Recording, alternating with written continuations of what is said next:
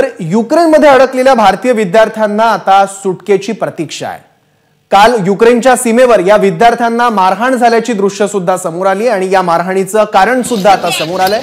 भारतीय विद्यार्थ्यांची सुटका करण्यास प्राधान्य देण्यात येत असल्यानं युक्रेनचे नागरिक आणि पोलीस भारतीय विद्यार्थ्यांना मारहाण करत असल्याची माहिती तिथून परतलेल्या विद्यार्थ्यांनी दिली आहे. लातूर जिल्ह्यातील सत्तावीस विद्यार्थी युक्रेनमध्ये अडकले आहेत. त्यापैकी दोन विद्यार्थी आज परतले आहेत. त्यांनी त्यांचा अनुभव कथन देखील आज केले आहेत. पाहूयात वेदांत शिंदे यांनी सांगितलेला त्यांचा अनुभव. जे युक्रेन लोक आहेत ते पण स्वतः देश सोडून जायचा प्रयत्न करत आहेत.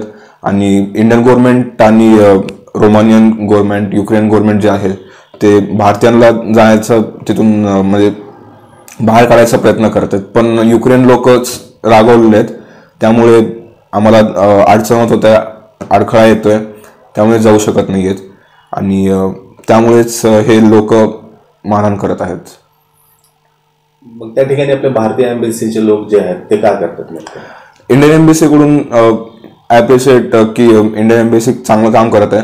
पण इंडियन एम्बेसीचं एवढंच एक म्हणणं आहे की तुम्ही रोमानिया बॉर्डरपासून ते इथं प्लेनमध्ये बसूच नाही हा इंडियन एम्बेसी खूप चांगल्या प्रकारे काम करेल.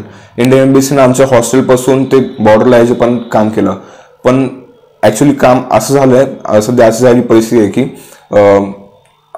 जे सगळ्या ठिकाणी जो रस्ता आहे तो ब्लॉक झाला आहे कारण प्रत्येक ठिकाणी लोक गाड्या सोडून रस्त्यावर तसेच चलत निघालेत बॉर्डरपर्यंत आणि त्यामध्ये आम्हाला पोलीस सिक्युरिटी होती पण आम्हाला पण चलत जावं लागलं.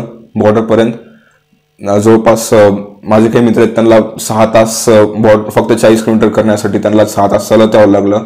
त्याच्यानंतर त्यांना बसमध्ये बसून घेऊन जाण्यात आलं. पण असे पण काही आहेत की तीन दिवसापासून तिथेच बसून आहेत पण काहीच हालचाल होत नाहीये. एबीपी माझा. उघडा डोळे बघा नीट.